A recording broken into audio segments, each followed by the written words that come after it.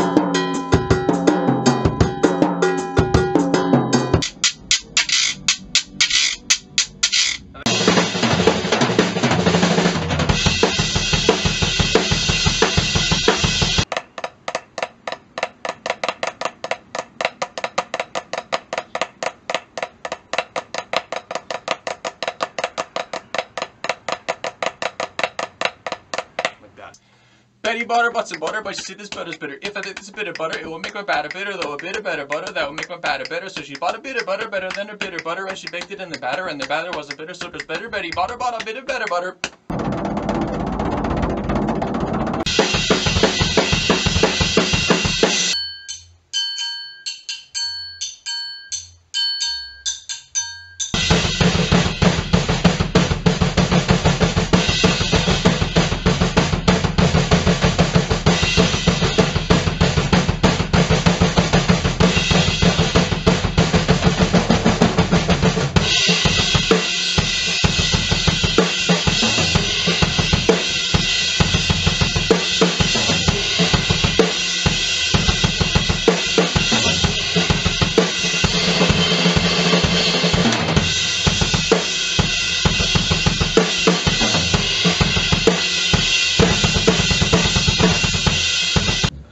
Try to come up, out, and then back in like that.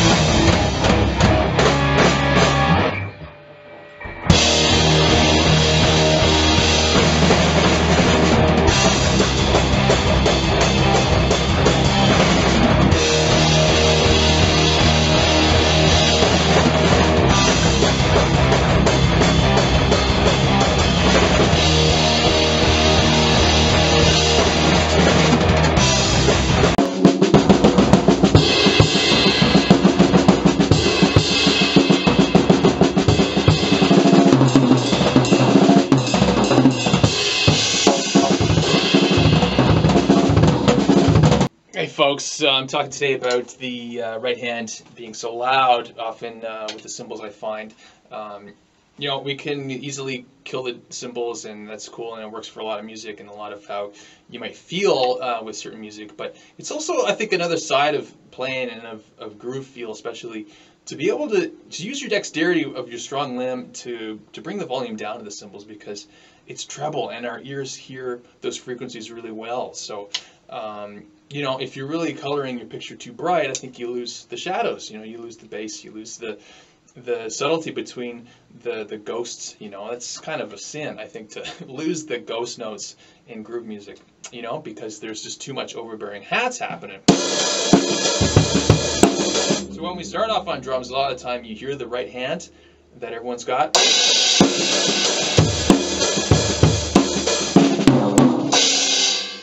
And eventually you just, I, I think, or should look to develop a, a quieter approach. Um, one thing that I really help with that is to, if you're ready, to hold the stick in a different way so you're not just overbearing. I, I find this really works with um, with the right hand. Uh, for example, instead of holding it in the traditional way, you've got the you know hilt of the the stick. Um, I actually hold it like this quite often now. Uh, so this the support is coming from the ring finger, and I'm just able to play in this nice and light motion, relaxed back here. I've got a lot of length um, of the stick now in my favor, and it's just light. The, the stick is just happy to to bounce along like that, you know. So so that's a real help uh, for for playing more quietly. So again, why are we playing quietly? Because we want to hear that the melody and the dialogue between the kick and the snare, you know, which goes way, way, way back. Those two voices, you know, at least hundred years, uh, more even in Europe. If you're talking about the the tradition of bass drums and snare drums. So I really want to honor that um, the relationship that those guys have as the, as principal voices in a lot of the music that we're familiar with. You know, so the way to do that is again to bring the volume down uh, on your cymbals. Test of how to uh, approach that is to actually bring your right hand right out of it.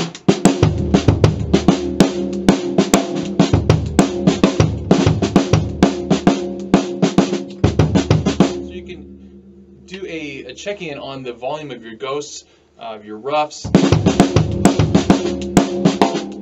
when you bring that hat back in, it serves as a, a through line in, in the groove music um, because we play eighth notes a lot. So it's really easy to, to just um, to drive any groove with an eighth note. But again, it, the feel changes and weakens, in my opinion, a lot of the time when it's too loud. So you should match your ghosts, or it's a great ability to have, to match the, your ghosts to the same level as your hi-hat dynamically.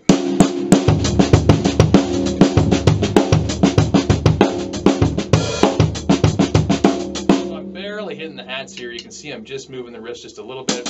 uh, but I'm also engaging the bot, uh, both cymbals on the hats. I'm never using just the tip of the stick on the hi-hat because it, it produces a thin, bright sound which I just can't stand. You know, this is will produce the, the treble, um, the, the brightest sound that, you, that it can give you. So why add treble to treble? You know, it just makes everything brighter sounding. On the ride, I'll do um, a mute with the thumb. I don't know if you can see that, but I'll put a the tip of my right thumb on the cymbal, and I'll just hit the. I'll use the tip of the stick here. Just for a little more control. It's kind of a weird technique, but it's it involves this this pushing down, uh, and the index is on top of the stick as well. It's a really intimate, kind of a cool grip. But this you'll find if you try this out is the weird part, and you have to get used to it, and obviously you have to to want this as well, you know. So why would you ever want this? Um, if you're not playing with your plugs and you're in a really quiet setting, then I, I've found over the years that the tip of the stick on the ride is, it's only one sound, you know. Don't want so much wash, but you can't get away from it, and you certainly don't want to go to blast sticks or brushes, you still want to play with the tip with a drumstick, then a thumb mute, it just controls that wash a little bit better.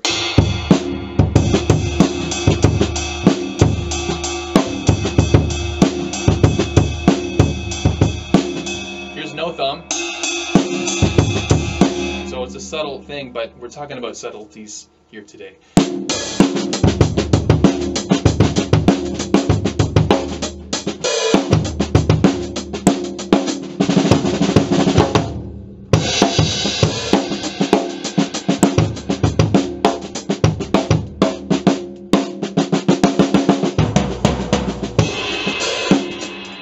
Strategy again for today is don't hit the cymbals any harder than they really need to. Um, get the drums to speak instead. You know, so so light your colors, light your your the contrast from the the bottom. You know, with the with the darkness and with the shadows first, and make that the focus because the brightness is really easy to to to add in. You know, especially with a cymbal. So so it's it's really worth checking out. Like if when you hit a cymbal, it's um, you know, everyone can waste a cymbal, and it's really important to be able to hit a cymbal really hard uh, for certain kinds of music, and depending on the attitude of the music in the moment.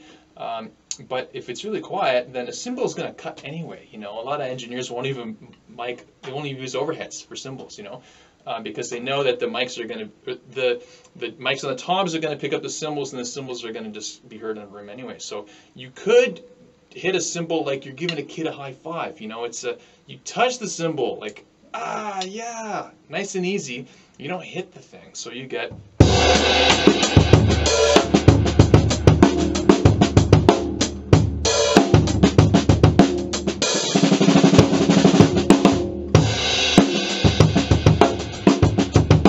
So it really doesn't take much to engage a cymbal, and that means I think, to hear the bottom of the cymbal really speak and um, emerge and be heard, you know, and, and open up. Uh, anyway, so that's where I'm at with uh, some groove philosophy for you.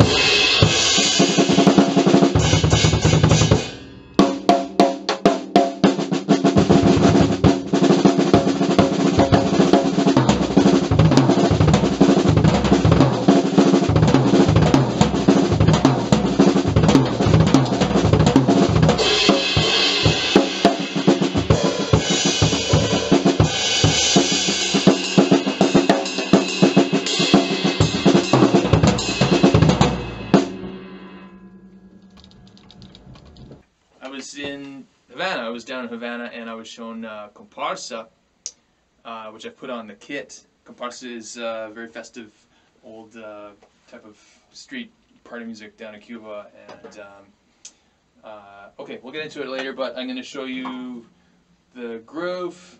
Goes like this.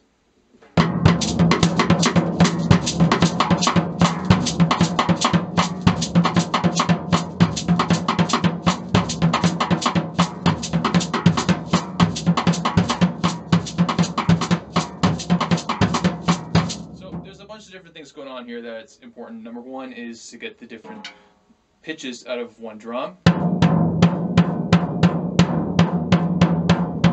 Uh, obviously clave with the left hand over here, which is felt in, in, two bars, marked in two bars. One and two, and three and four, and one and two, and two and four.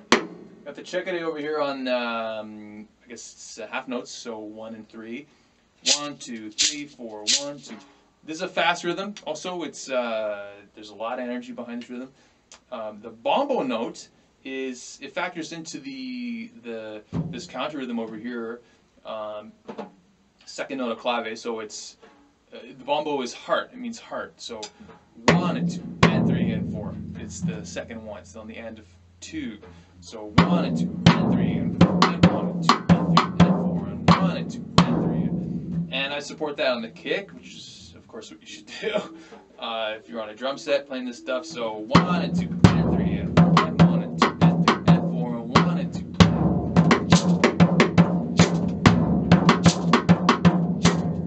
Let's talk about this counter rhythm. Uh, what's going on with the clave? It sounds like there's six against four. It's not, but that's another one of the sneaky little miracles of Afro-Cuban drumming. Is you get things happen that expand your your conception of what's possible. Actually, that's what happened for me anyway. So um, you get one and two and three and four and one and two and three and four. And three and four and one and two and three and four and one and two and three and four and one and two and three and four and one and two and three. When you speed this up, it sounds like it's a evenly spaced bunch of, of, of six over the four. So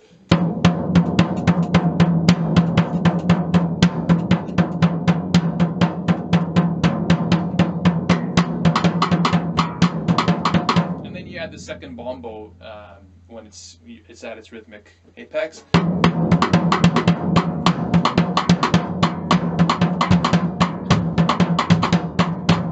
Uh, but again, that's not six. It's one and two and three and four and one, uh, one and two and three and four and one and two and three and four and one and two and three and four and one and two and three and four and one and two and three and four and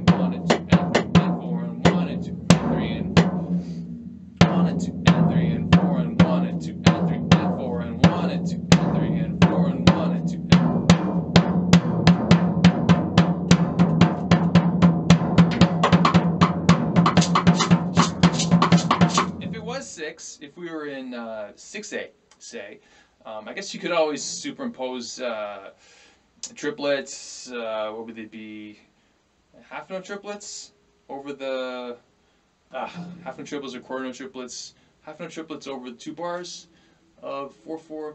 Um, forget about that. Maybe it's, if it's in 6-8, then I don't think Comparsa would, would be in 6-8. I believe it's in 4. But um, uh, just to show you what 6 would actually sound like, you would get 1, 2, 3, 4, 5, 6, 2, 2, 3, 4, 5, 6, 1, 2, 3, 4, 5, 6, to give you your 6, 1, 2, 3, four, five, six over two, three, four, five, six, one, two, three, four, five, six, one, two, three, four, five, six, one, two, three, four, five. So these are quarter notes in the the six eight. It's two bars long, so uh, three times two is six. So uh, one, two, three, four, five, six, one, two, three, four, five, six, one, two, three, four, five, six.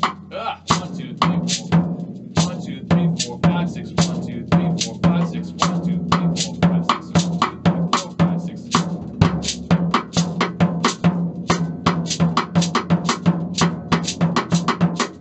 subtle shift, um, the 6-8 against the versus the 4-4, but uh, it's there. All right. Oh, and uh, for the hell of it, here's how David Garibaldi did uh, does his comparsa with the snare. Uh...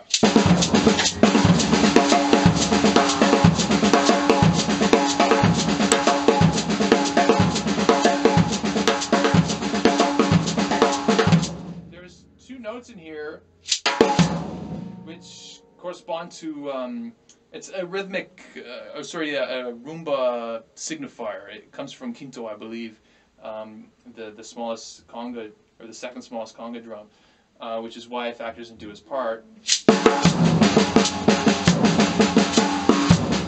I think.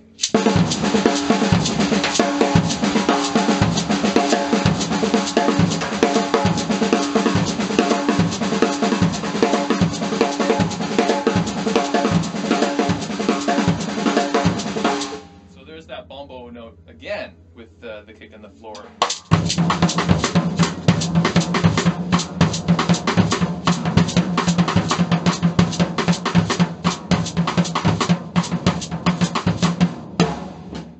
Hope you're having a good day with whatever you're doing. And see you next time.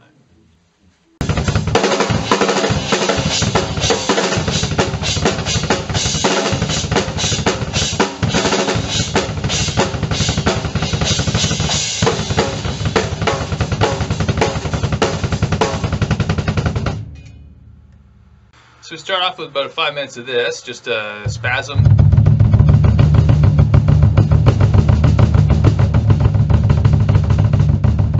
Not trying to get them to single out too much, just getting the, the blood going to the ankles, um, and just not playing from the hip flexors, but just getting the getting the ankles moving as fast as possible.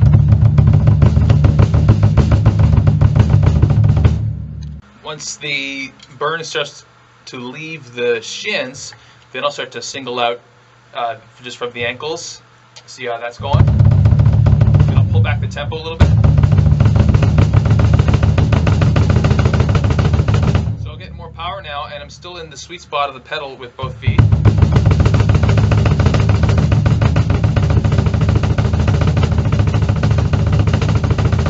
So a few minutes more of that, and then I'll bring in the hip flexors and more volume, and then start to slow it down.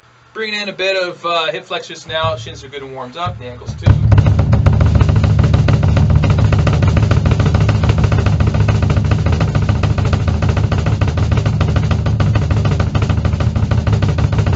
Start to pull back the tempo a bit. Bring in the hands.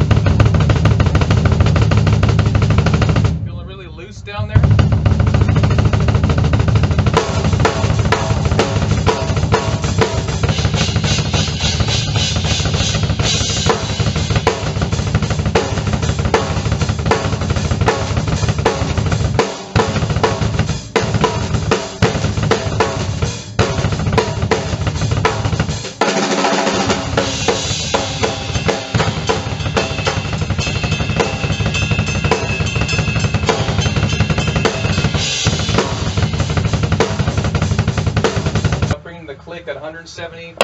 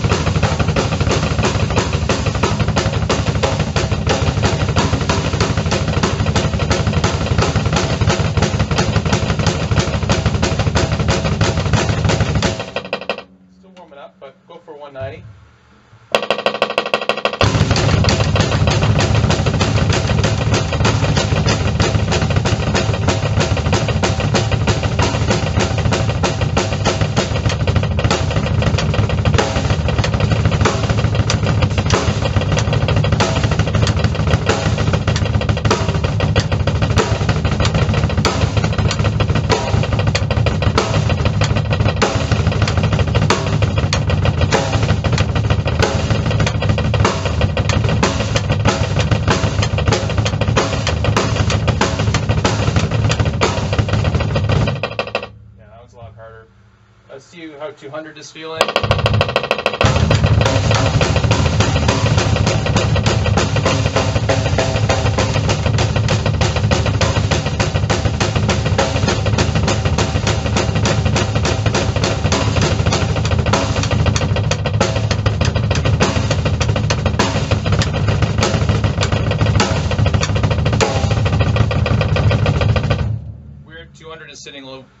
190, but that's just how it goes double bass sometimes. Uh, 210.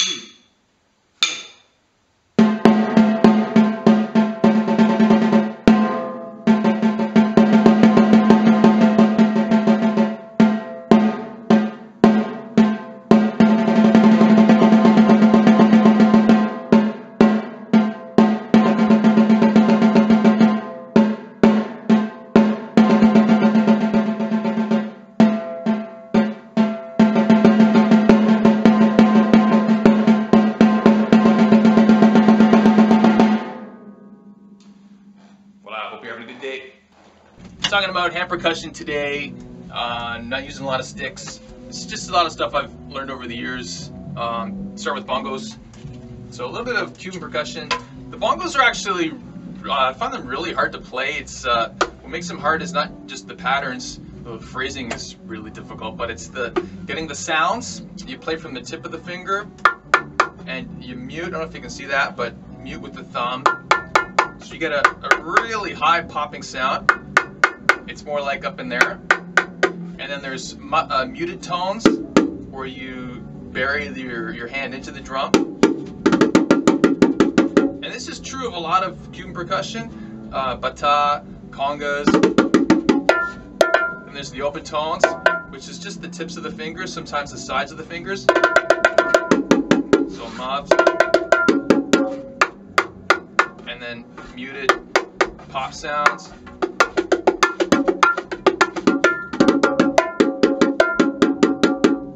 Open tones and mutes.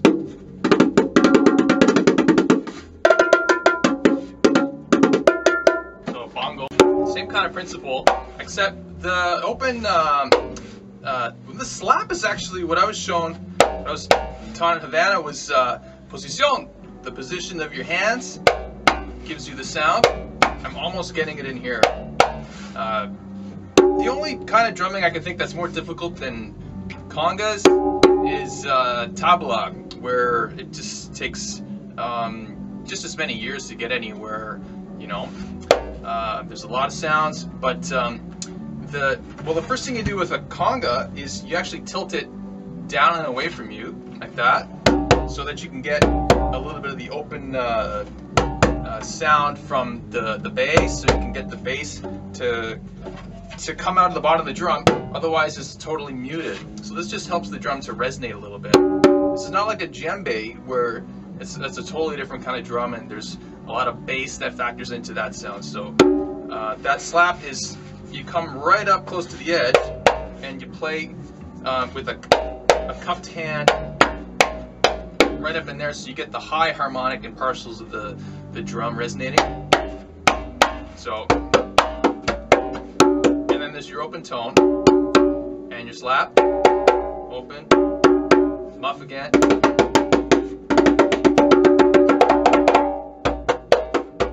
Um, so you got to try and get away from this perpendicular slap. You know, it's actually, it's closer to the edge like I'm saying. A really hard drum to play uh, because I remember seeing my doctor one time and my pinky was numb and he's got my arm and we're trying to figure out like why my pinky is going numb. And I said, oh, I've been playing lots of congas. And he goes, uh, oh, so it's trauma. He said, it's trauma. Anyway. Uh, okay. Congas, you got Bell.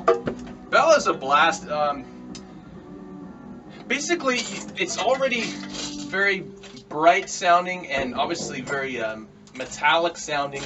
Um, so you got to be careful that you're not overdoing it with, uh, you know, with a, a, bright sound. There's already a lot of brightness in there. So what they do generally in Cuba is, well, this is designed for a drum set. So you take this guy off, uh, and they play with a bigger stick, like a round stick, like part of a clave, and then they'll hold the, the cymbal here, or sorry, the, the bell, just to help mute a little bit if, if they want. And you've got your higher pitch and your lower.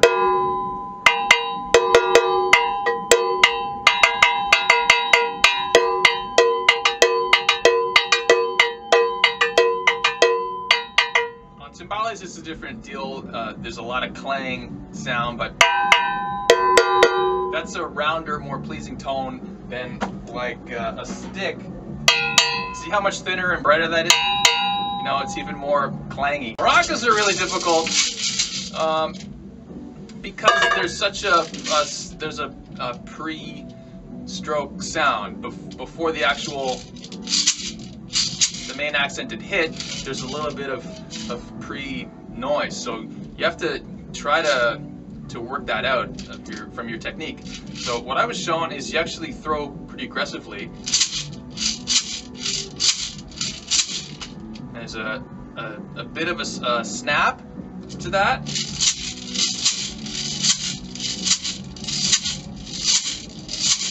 And the other one, I was taught that you hold them up here like throwing, you know, like that.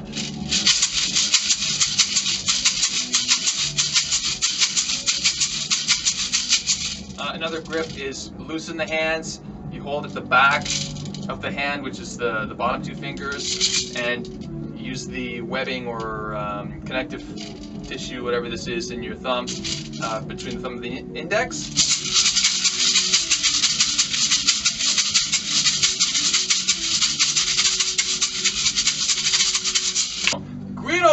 Very difficult. This is a gourd. This is hard. This one, uh, you actually have to move both hands at the same time. And you really got to get this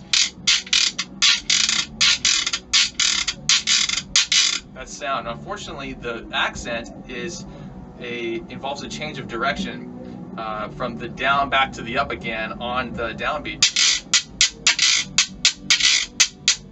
And the guys who are really good at this, you'll see them moving the the hands against each other, and it's all very fluid and, and beautiful.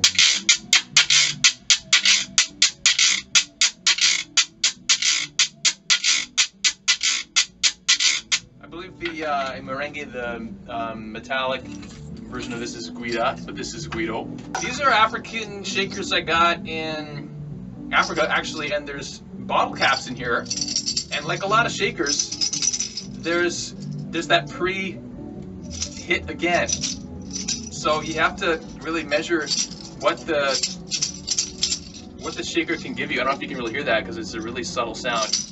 But you have to just explore the nature of each instrument and get really familiar with it. So this one, if I go to just shake it, I've got a sound where I don't necessarily want it. You know, they have single shot shakers that eliminate that problem of of the pre-hit. I don't know what you call that, but there's really much way around that. You know, you can always do that, or you hit hit your wrist. Again, that can eliminate some of the pre sound that we're talking about. Or if you want want to use that sound a little bit and use the natural um, work with the motion of how you naturally want to move, which is up and down, then you train yourself to to get a sound uh, in both directions. Claves are really, really, really great. They're um, I think they're. I read that they were originally ship um, dowels, like like pieces of of doweling uh, to keep ships together in shipbuilding. So you make a chamber, uh, which is just a Frenchy French, a, a fancy French word for room. Uh, so you make a little chamber in your hand, a resonating chamber, and the larger clave rests in not right on the tips of your fingers, but close enough, and you're just you're loose here, you're not tight, and you make a you make room for this thing to, to sit there. And it feels better to let the other one come off, the, the this clave come off. But you really want to find where it's the most resonant. See, that doesn't sound so great, but right in the middle, it sounds good and resonant and uh, there's a sweet spot. You want to put the microphone, let's say this is the microphone, you don't want it to go to shake your downbeats into the mic because if your downbeats are accented, um, usually by accident, then you get a stronger uh, downbeat. You get a chick, chick, chick, chick, which is unfunky. So the mic picks up that. Chick, go, chick, what you want actually is you go off axis or parallel. Um, it's a parallel, no. It's perpendicular, no, that would be perfect. You just want to get on the side and get an even, um, even shakes happening. So you have to train your hand to get a even sound on the offbeats when you're coming back towards you, which can be quite difficult. and uh, triplets as well in threes. Two, three, one, two, three, four. Shakers. Oh, these are really cool. Um, I saw a guy in uh, New York, uh, Carnegie Hall. He actually, because of that pre-shake again, if you want to just accent downbeats, say, and nothing, you know, no offbeats uh, or upbeats, then you still have sound before the actual downbeats. So how do you, how did he get around that? He actually held them hit his hand. Um, with shakers, you can sometimes mute them. Squeeze on a little bit tighter to to impede the resonating or the resonance. It's a different kind of sound when you mute it. And sometimes you can work that into the groove or whatever you're playing. A lot of fun to have more control over a shaker and just to bring it into your playing. Tambourine is actually very, very difficult. This one is um, built for the, uh, the, the drum set with this clamp, so you don't want that rattling too much. But the tambourine, you really have to get the the offbeats um, as as loud as the as the downbeats. Again, it's the same old story, right?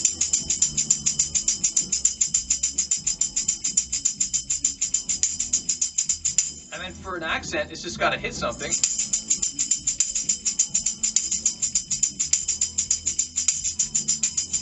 Obviously, a tambourine, there's a lot of different kinds of types of this and sizes, and it goes way back in history, um, all over the world, as an amazing instrument. It's an amazing combination of uh, a drum, usually with the skin on it, um, and a um, and little bells, little zills.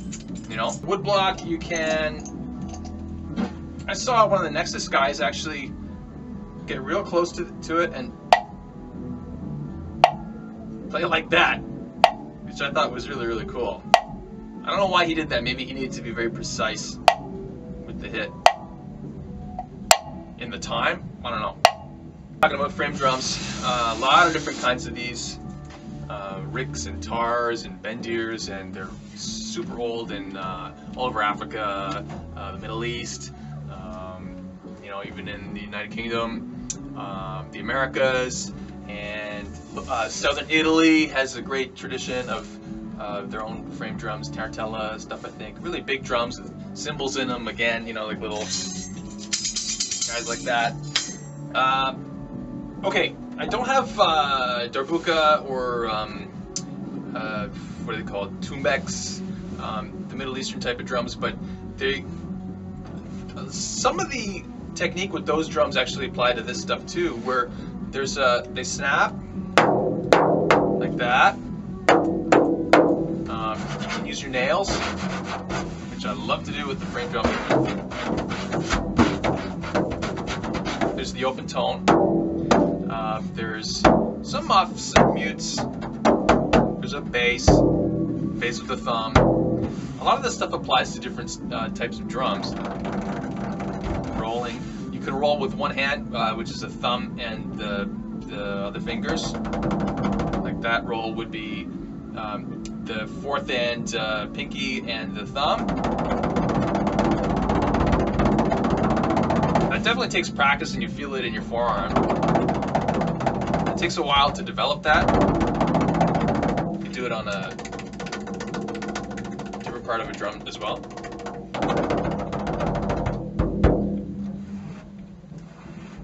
Doesn't want to give me that. There you go.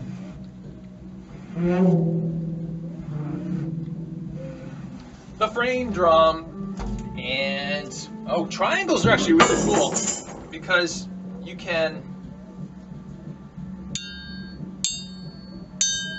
see one side will be see that one will be dead and so will that so you have to hang on to it in the right place and then you can mute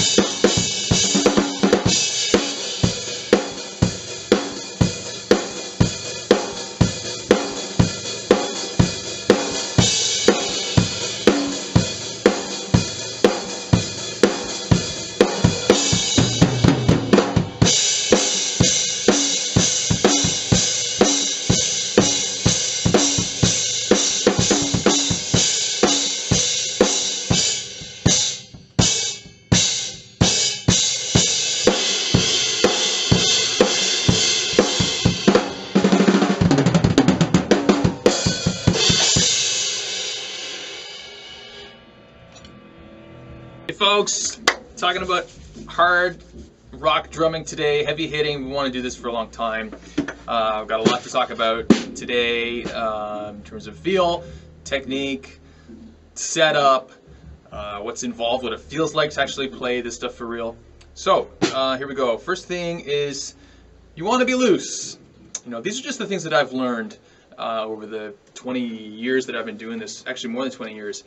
Um, you want to be loose, like Angelo Dundee says to uh, to Muhammad Ali. He was uh, Muhammad Ali's trainer and George Foreman's. You don't want to be tight. You don't want to have um, feel constricted. You want to be loose when you're playing. Everything in this kind of music um, is exploding. It's the drums are being hit really hard, so everything is vibrating. You're not, you know, digging in and inhibiting the natural things that want to happen, like a head vibrating, a shell vibrating, both heads vibrating, cymbals uh, being very free to, you know, to explode and to crash. Um, anyhow, so you do you do want to be loose. I'd be careful not to stretch. Like you don't want to be uh, stretching. You just you need to be loose all the time. Anyway, generally, right? So um, so what I do is I just I just shake shake the arms. Michael Beauclair taught me this. Thank you, Michael. You just want to relax the muscles, get the blood flowing, breathe. You know, you don't want to be going ah. You especially don't want to stretch if you're not warmed up, if you don't have uh, the blood going um, through the muscles, and if your heart's at a really low rate. You know, um, so you need heat to really get the muscles to stretch anyway. Otherwise, I'm told it's like trying to stretch a cold elastic band, which is not a good idea. So, anyway. Um, the uh, speaking about muscles, um, one muscle is for this music that's really uh, gets used a lot is the thumb in here. So you you can kind of check in on that and just see how tight it is, or that's what I do anyway. But but generally, you should be able to loosen everything up, you know, before um, you're playing. If not, then then um, stretch earlier, stretch a little bit before you play, um, just to help those muscles out because you're gonna need them. Um, earplugs you don't know how to put in your plugs, then then you're screwed. But um, if you're playing with big headphones, like up here, then when it gets time to actually get the stick up to the you know the bigger stick heights, then you can hit yourself in the in that headphone all the time, and that gets really annoying and distracting. And you don't want to be distracted uh, when you're playing this music. So with the plug, in case you don't know, you roll it up, boom, this ear gets pulled up, and then what I do is I actually twist and spiral, and put the, the plugs in that way. Um, I put band-aids on and then electrical tape. Um, you're gonna need you're gonna need tough hands for this. Don't use lotions and any kind of hand cream. You, you want hard, tough hands. Um, calluses are your friends. Um, the stick is is generating a ton of friction uh, with this kind of music. So you really want to um, protect your hands and just get them to where you need them. You know. So in other words, you don't want to be aware and distracted by uh, any kind of pain in your hand that you could have avoided.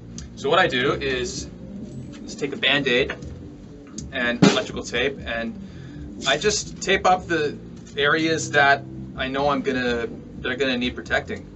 So for me, it's always the thumb. And the idea with this is it's on medium tight, like just snug. The Band-Aid is designed to stick to your skin. Electrical tape isn't. Um, but if I just left the Band-Aids on, then the stick and, and the sweat and the heat would just shear it off. So then I take the electrical and which is good and slippery. I put that medium snug, not too tight, not too loose so that it's not going to move at all.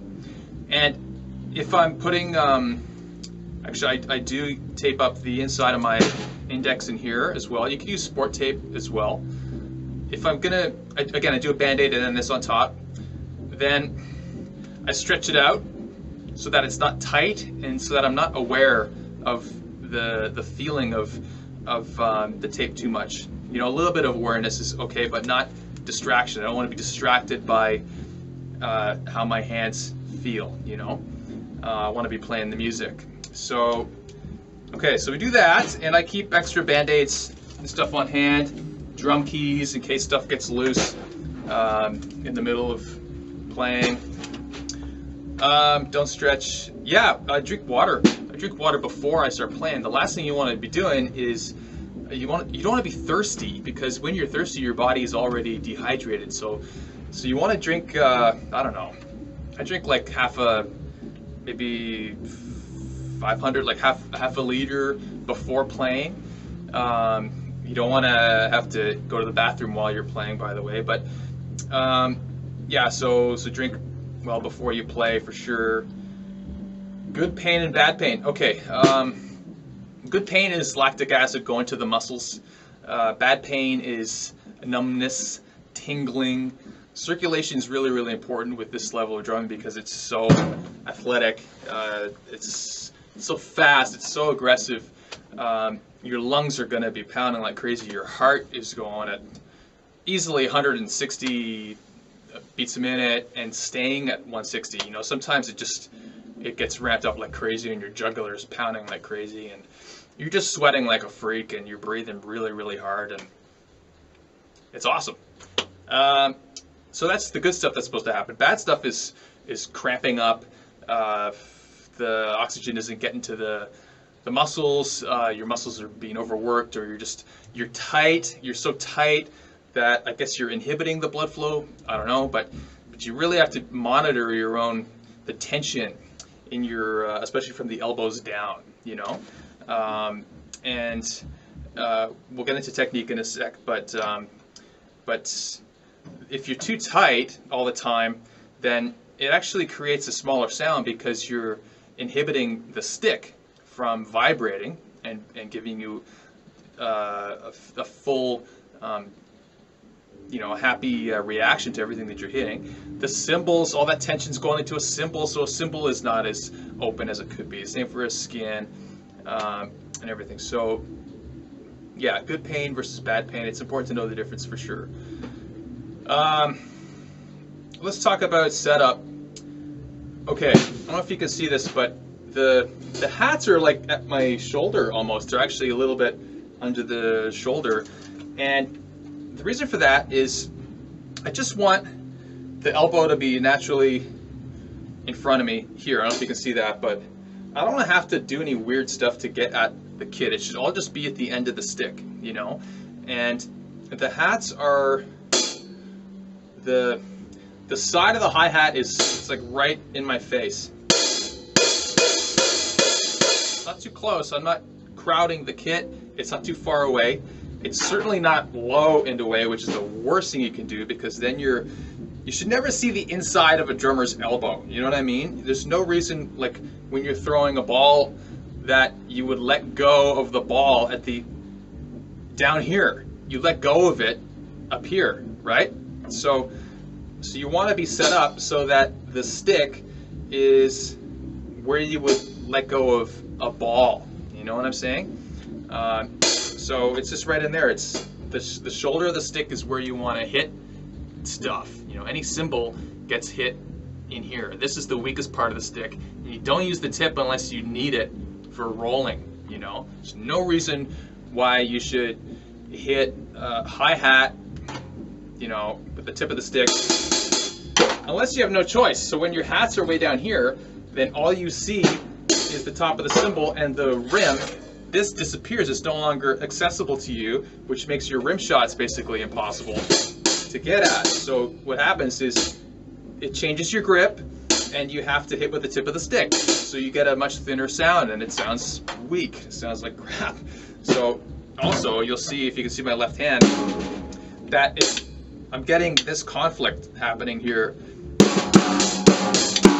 right? So it's harder to actually get volume out of the snare because the hats are so low. So the first thing you got to do is get those hats up real, real high so that you can easily engage both cymbals and not just the top cymbal, you know, but you got you play in here, lift the hats up from the hip flexor, the the muscle that or a series of muscles that lifts up the whole leg, uh, and and you're good to go from there, okay? But really loose in the hand. Uh, it's got to be a rim shot every time, folks. Sorry, but it can't be the tip of the stick in the middle of the drum because then you're missing out on all of this available volume that's naturally inherent in how the drum is made. So you hit a rim shot, which is the middle of the stick basically hitting the rim and the tip of the stick hitting the head at the same time. So here's 50%, here's the other 50, and together, you have to be able to do that at will, whenever you want. Both hands. Here's a quiet rim shot. Loud. Uh, what else? Talking about setup. So start with the throne. Uh, even before you do set up your hi-hat, I've got a little bit of, uh, my knees are going up a little bit. And it just helps me to feel, for my center of gravity to be low, center of gravity, sorry, to be low, it, it helps me to hit harder. You know, it just feels like the drums are, they're across my, I guess, stomach, you know, and the stomach area is really, really important for feeling comfortable or for playing from the stomach really helps to to feel um, to give this music what it needs, which is just a lot of aggression and a lot of volume, you know, without having to compensate with your back or without having to do any weird stuff with your hands, you know, in terms of the ergonomic um, relationship between you and, and the kit. So the rim of the drum is easily accessible to me here and they're, you know, I, I can live with the, the bass drum leg coming up and and me going to the rim. Uh, there being contact in here. Normally I wouldn't really I'd avoid that, but because it's this kind of music, then I just I work with it.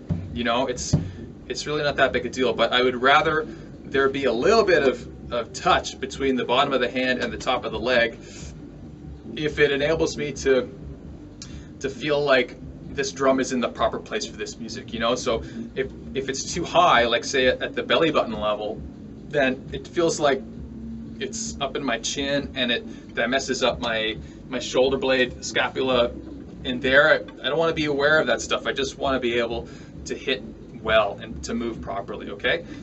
Speaking of moving properly, um, so for that bass drum with hard rock, it's a, a one-dimensional uh, sound. You know, it's really not a dynamic, um, dynamically played drum. It's not like jazz where you have a lot of different techniques with the kick and, and you get a lot of different tones and you mute it and stuff like that.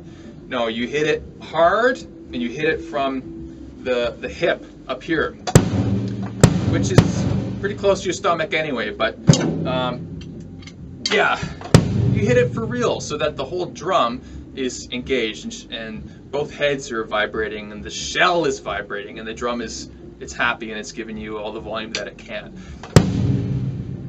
Let the freaking beater come off the head. Always, always let it come off so that you're not muting the drum. Okay, and losing bass. You lose bass when you leave a beater into uh, a skin. So just train your foot to let the beater come off. Okay? Man, plus you dent the head, ultimately. Um, what else? Okay, hands, elbows, from the forearm down, the shoulder down. Why do we hit so hard? Because the guitars are slamming loud. I'm, I'm already shouting because I have earplugs in and this is what you want, right? This is a very physical approach uh, to playing. Guitars are slamming loud, bass is slamming loud, singer is screaming as hard as they can, and the worst thing you can do is be the, the weakest link in terms of feel when those are the circumstances of the musical moment, when the feel is that aggressive, you know? So you don't want to be playing with the tip of the stick when the guitars are just slamming, slamming, slamming loud. Um, you want to match the volume uh, you want to be too loud. You want to be able to be too loud. You want to be able to not be in the front of house mix because you're putting out so much volume from the kit. It's it's really a worthwhile ability to have, you know. And then you can choose to play quieter as an option versus um, you know just being a consequence of your actual lack of technique and feel, right? Um, as snare drum, if it's got a pretty new head on it and will give you lots of attack and volume. if you hit it as hard as you can, there's a point where it just can't give you any more volume. And it's the same with the toms. You know, it's giving me a little bit more when I hit it with everything I've got, but not much. So you really have to monitor how hard you're hitting, um, uh, the ratio between how hard you're hitting and how much volume or more volume you're actually getting out. Because when you start to get tired, uh, you need to know why you're getting tired. Are you just out of shape? or are you not getting the volumes and the sounds that you actually need according to how hard you're hitting? So that's the stuff um, that I look for and I watch for when I'm playing in the moment always. Uh, but a snare can give you 110, 115 decibels, you know, which will take your head off when you're hitting it hard. So, so will hi-hats, well, they won't give you that much, but it's right next to your head. It's a lot of volume. The kick won't give you too much. It's a low frequency and they're they're down closer to the ground, but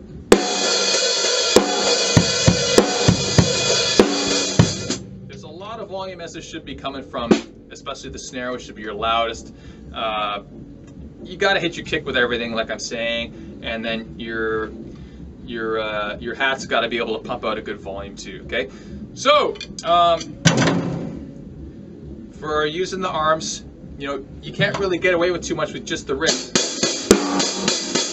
That's maximum rotation with the wrist. There's a lot of volume there, but it just doesn't feel good. It doesn't feel as natural as swinging your arms a little bit more. So, as with fighting, as with, um, yeah, mostly mostly fighting, the elbows, the forearm comes up like this, like with boxing. Uh, forearm comes up and you know if you're really new to this then what to aim for is just grab your earlobe to start okay to give you an idea of how your shoulder is going to feel and where the natural position of your arm wants to go you know so you just grab your earlobe and that's going to tell you how forward everything actually becomes you know so you really start to play from here with the elbows front. Notice that I'm sitting upright, but I'm not stiff like a board. Just want to have a little bit of a, a bend in there to feel like you're just starting to teeter over the kit, and that actually helps you to hit hard again. I don't know why, but it, it does. This just does not feel natural to have a straight back like that. It feels like you have to focus and concentrate on keeping a straight back, you know? Meanwhile, you don't want to be focused on too much. You want to be playing the music, you know. Um, elbows come up front, and then look at the hand. So the hand's just naturally where it wants to go, right? You put a stick in there, and the stick is, it's right at your shoulder. I know that when I don't feel this, when I don't feel the, the stick on the back of my shoulder right here, before I go to hit cymbals or hit drums, if I don't feel that little touch, then I know I'm not really hitting hard for real, you know? So that's another thing that you can start to get used to is is the the stick just touching here, you know? In the Middle Ages, they would cut a guy in half apparently by using both arms going up and then you know use the stomach muscles. Um, you know, there's so much energy just waiting for you to, to use when you wind up like this, and that's really what this is. Um, speaking of, I want to talk about the conflict between the the hands when you're playing on the hi-hat. How do you get the left hand, sorry, the right hand out of the way of the left hand when you're going for that rim shot and when you're when you're playing up here with the left hand? Why do you play from here? Because you need maximum volume out of the drum. Same with the right hand. Maximum volume out of the hats. So what you do, or what I do, is I aim for the upbeat being, uh, I don't know, I guess this would be uh, one, yeah, it would be an upbeat. So at the end of two, at the end of two, the end of one, I'm sorry, the end of one, one, and, and, and, and. No, you know what? it's more like the uh of one. It's the sixteenth before beat two that I would be here, and a lot of drummers would actually be at the full, um, you know, wind up. So one E and a two E and a three E and a. So that should really help you to put to put uh, yourself in time. Uh, you have to uncross the hands like this. You want to really get away from the feeling of the right, the dominant limb, uh, like bearing down over the left and inhibiting the left arm, especially when you need volume from the snare real bad. Okay, so it starts in the wrists. You should just be able to uncross the sticks and point them like they're uh, flashlights straight up at the ceiling. Should be able to do that. And then with the elbows rotating, I don't know if you can see, but there's this, there's a twist happening and there's the up as well. And that gets the sticks out of each other's way. When you go to hit,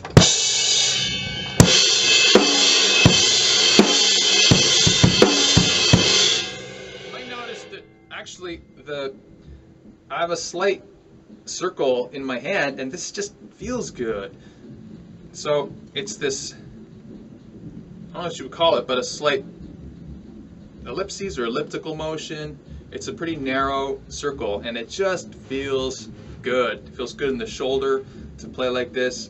There's a slight twist that's happening and I just think of, I'm to think of at all, I just try to come up, out, and then back in like that. So in, up and out, and then like.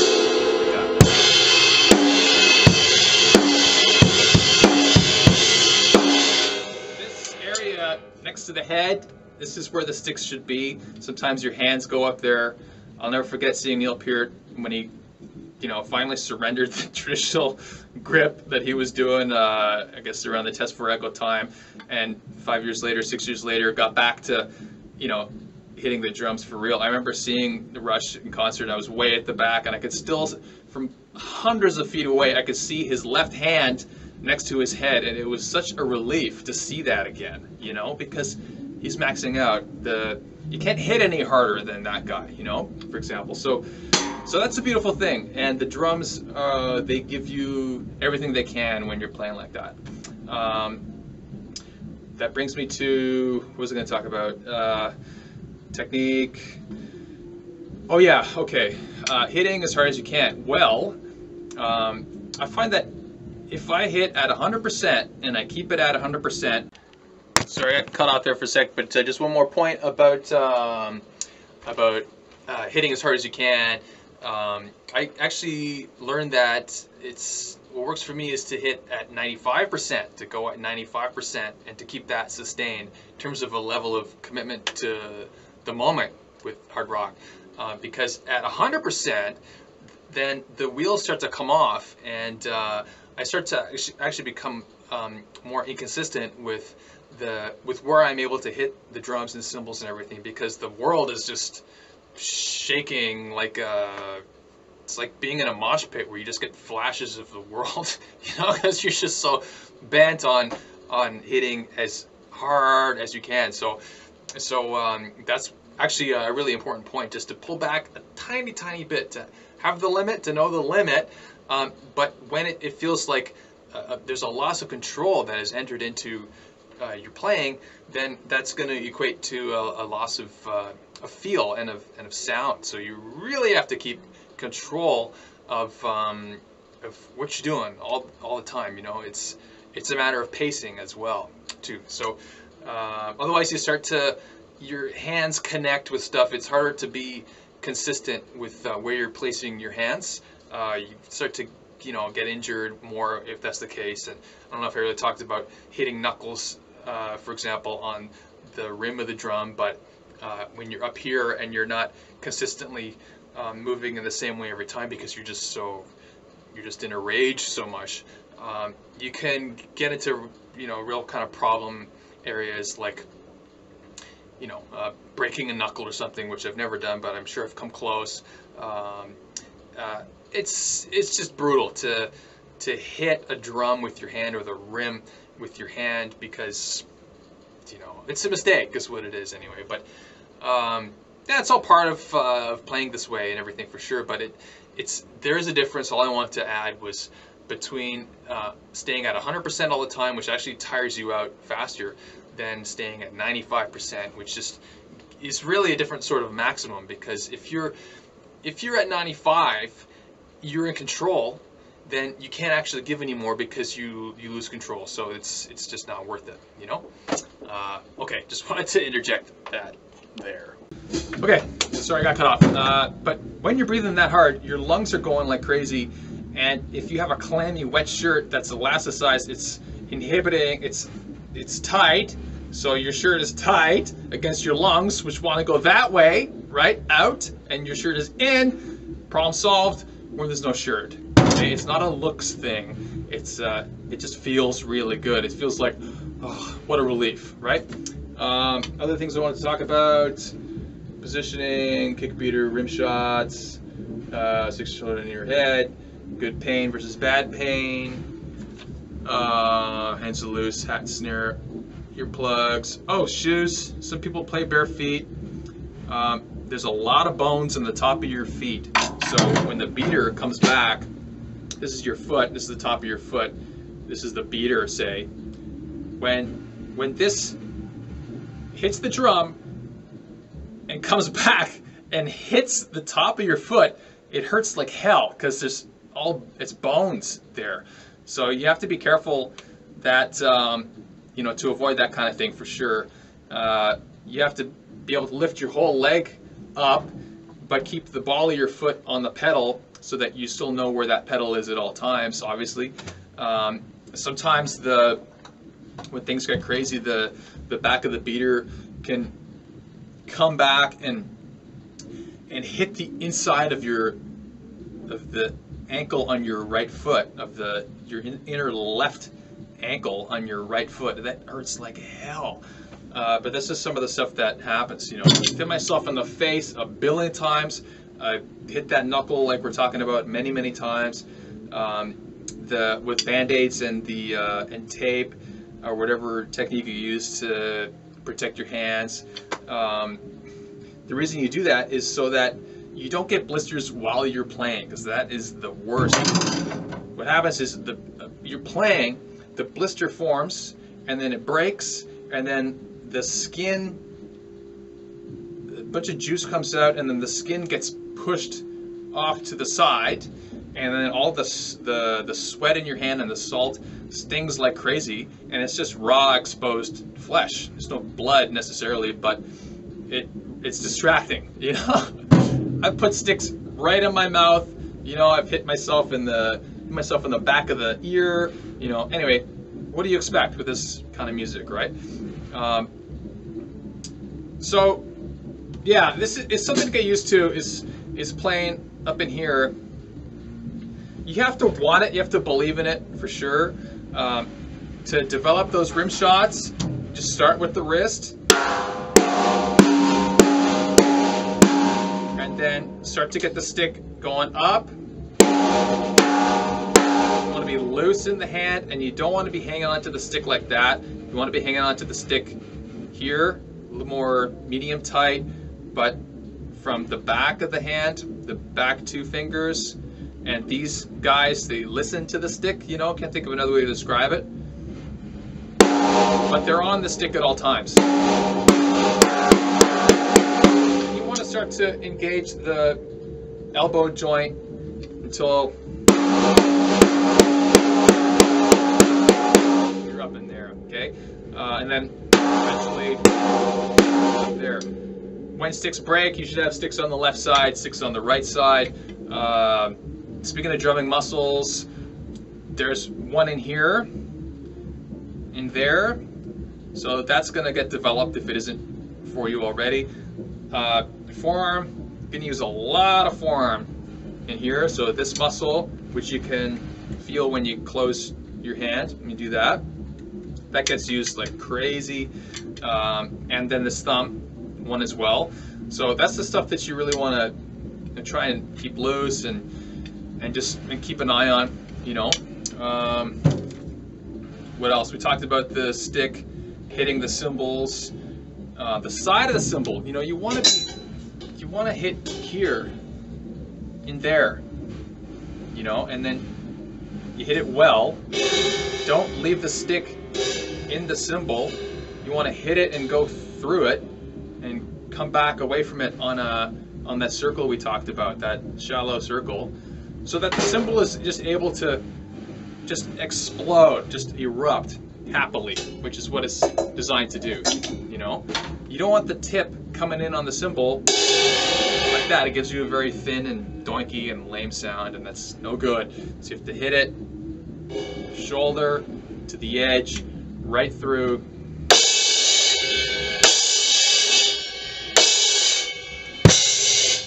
Positioning. The cymbal is at the end of the the throw, right?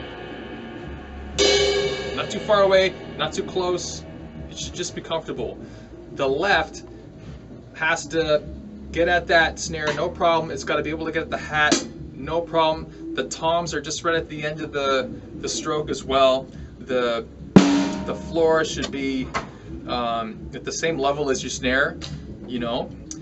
The ride should be comfortable. It's, you should never be thinking about it because it's you should be too busy playing the music because you're so comfortable. You shouldn't be wondering about whether something's in the right position.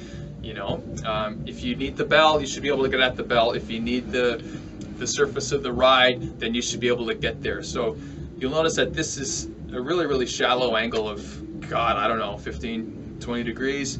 And if I, I want the rim real bad because I crash a ride all the time, one thing I do is I play rim shots. I play the this part of the stick on the cymbal, and that gets me away from playing with the tip again, which I don't want. What you're hearing is this hitting the ride like that. And it's not tight, it's loose. And there's still rebound. I need the bell, it's right up there. I want the the the edge is right there so when I can get everything I need from this cymbal, no problem. I've got access to everything that it can give me, no problem. And it's not really the same with a crash. A crash, you just you don't really need the bell at all, right? You don't need the surface of it. It's just it got one function. It's just needs to be wasted, and um, it's the same with another crash over here. Um, there's a slight shallow angle with these guys, and they're just at the end of the the stroke. You know. I can't recommend having another crash enough over on the right side. These are 18s.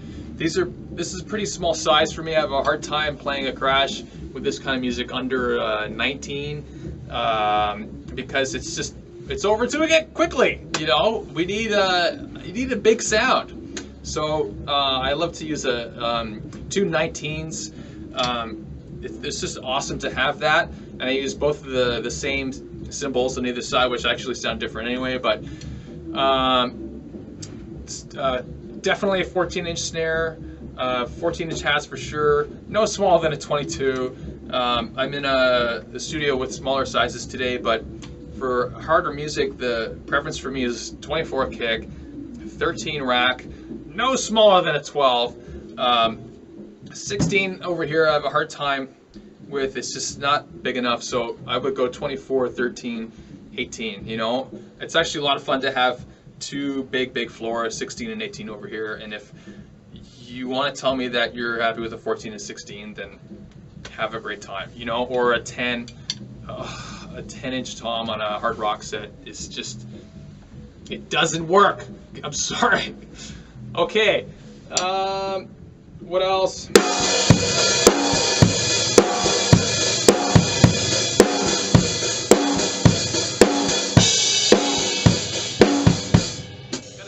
I have the word breathe written on my toms. I breathe through the mouth. You need a lot of air.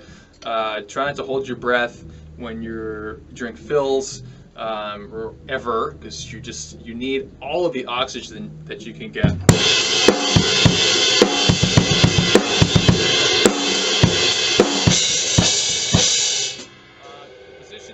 Crash it should be, you can't really see it from this angle, but you should be able to get at it, no problem. You should be able to hit a tom without hitting your crash, you know? So this guy is just a little bit over to the right from the crash. The crash access area there is just a little bit over from the snare rim where I would hit the snare. So you can see that where I hit the, the snare, but you probably can't see that, sorry, but is it's just to the left of where I would hit the, the tom, not by much. And all of that is just to the left where I hit the crash. And all of that is slightly, you know, uh, over a little bit more is the hat. So you get this, you kind of see the, the angles here are really, it's all kind of close together, you know, but but there's no fight, there's no conflict. Uh, I, I never hit a hi-hat on my way to hit a snare, you know. Which actually brings me to elbows, the whole question of elbows. Um, and if your elbows are up, I mean, guys would play this way a lot in the 90s and 80s, and Taylor Hawkins will still play like this a lot, and he does he does this crazy thing where the he's hit hits the snare like this and sits really low, and that's all awesome and everything, but um, if the elbows are up, then you better be aware of them being up because it turns your hands over, number one, and it really isolates your shoulders in a weird way. It makes you aware of your shoulders, I find, you know. The question is, do they really need to be up? You know, why why are they up? Does it feel good? Well, that's good. But you really should not be aware of your back, you know. You should be aware of, of your shoulders. You, everything should just feel good. So uh, it's okay for your elbow to go up as part of a stroke, but they shouldn't stay up when you're playing, you know? Um, because it just, it's not normal, you know? If you're playing a djembe in a park, you don't go like this. You do with congas a little bit, your elbows come up a little bit. And I know in, um, in marching drumming, the elbows go out, but the elbows don't stay out as you play. Just, you know, try for yourself and you'll see that it just doesn't feel right. So uh, what else? When you hit a, a bell, no reason to hit the tip. You should hit the shoulder.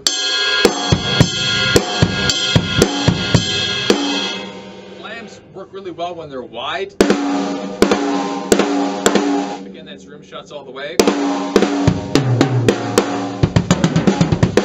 I've seen guys have really flat toms, and this area in here it feels like a tendon stretch, like tendons are stretching when they're overextended. There's no reason why you should have to get into this kind of problem area, you know? I mean, I don't know why guys do this. I've done it myself for sure.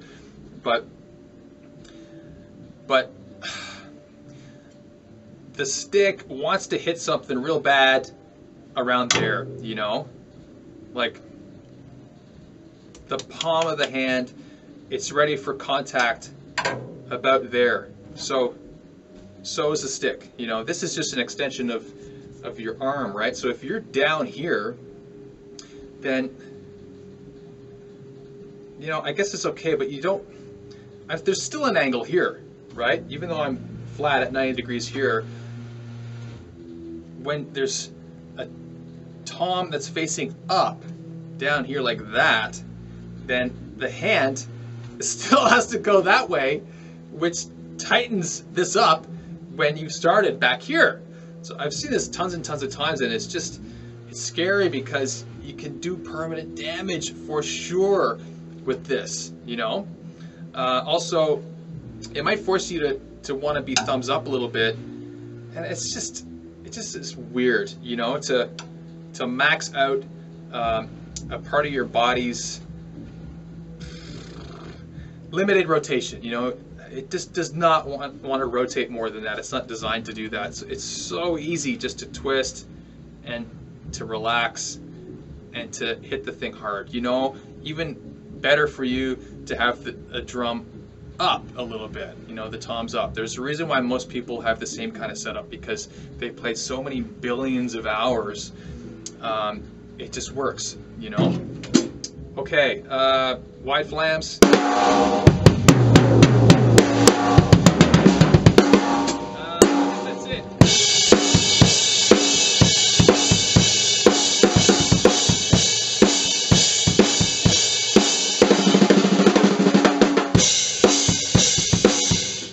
Okay, thanks for listening. Holy crap, uh, I really went off there, but um, I guess I really believe in this stuff. You know, I really, really do.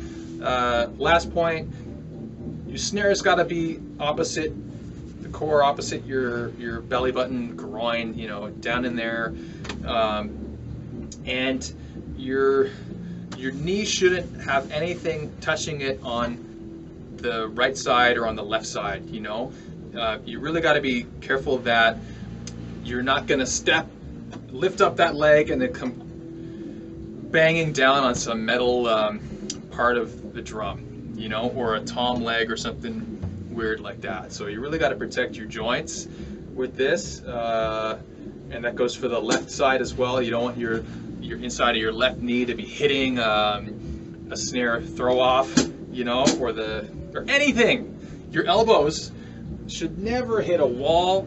They should you should never touch anything with your elbows back here. There should be nothing, no amps or anything, no contact around you. You know, this is really precious area behind you, up in here and down, so that you're not you don't screw yourself up. All right, have fun, go slow, repeat, sweat, uh, enjoy.